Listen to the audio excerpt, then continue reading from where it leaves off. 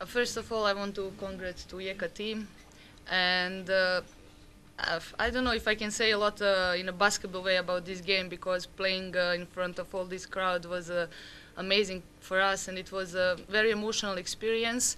And uh, with all the respect to our opponent, I, I think that we could put more effort in the second half and. And uh, let's be honest, if we had a chance to win this game, to win against Yekad, it would be today. So I'm very sad that uh, that we lost the chance.